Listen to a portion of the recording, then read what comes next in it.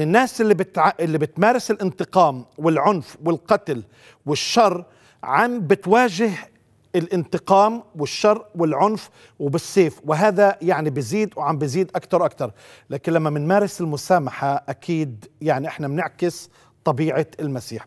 وهذا اللي عاوز أسألك إياته.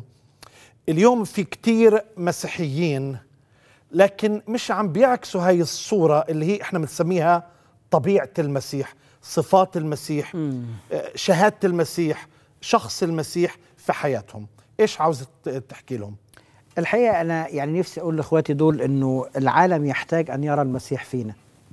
هو لن يراه في في أي حد تاني غير في حياتنا لما يشوف هذه الحياة تتمثل وتتشبه بشخص المسيح.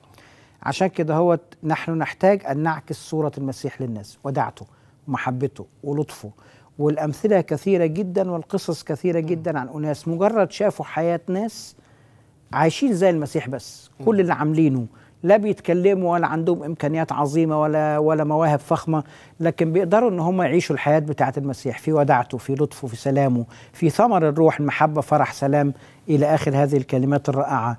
لما بيشوفوا هذه الحياة ده اللي الإنسان بيعطش ليه وعايز يعيش ليه. وبالتالي الناس هترجع للمسيح من خلال إن هم يشوفوا سيرتنا الحسنة.